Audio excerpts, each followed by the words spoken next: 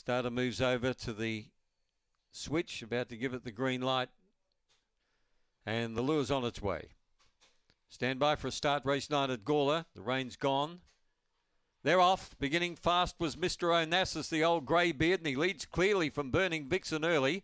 Poking up on the rail, Emily Star from Rapid Response. Well back Astronomy, and last of all, as they leave the back is Marshall Fly. But Mr. Onassis has kicked away. He's five and a half years of age, and he's two lengths clear of Emily Star trying hard.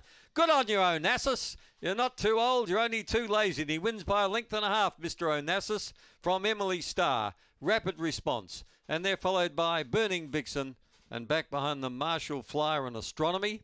Good luck to the trainer. He's persevered with this dog. And he's won in 23-28. Mr. Onassis. One, two, four, and seven. One, two, four, seven.